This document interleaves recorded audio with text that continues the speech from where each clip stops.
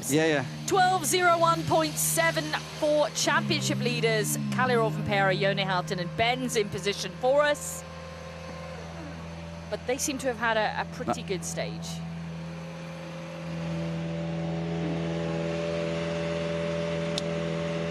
Kalle, last proper stage of the Friday. How did it look considering that was the first proper car through it?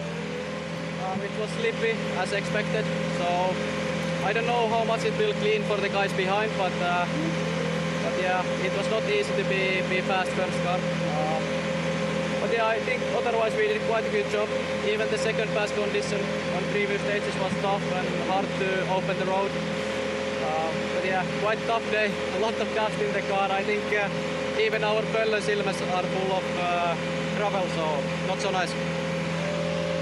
And in finish, please.